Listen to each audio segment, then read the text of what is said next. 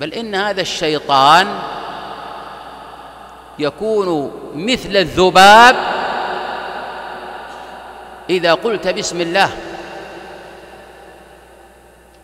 فالنبي صلى الله عليه وآله وسلم كما في المسند وغيره كان راكبا على حمار وكان معه بعض الصحابة فتعثر الحمار به فقال هذا الصحابي تعس الشيطان.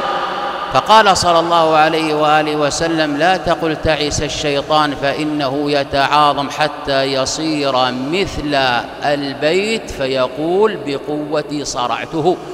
ولكن قل بسم الله وانظر. أيضا هذا الحديث يدل على أن من سقط فقال بسم الله فإن لها تاثيرا. ولكن قل بسم الله فإنه يتصاغر حتى يصير مثل الذباب.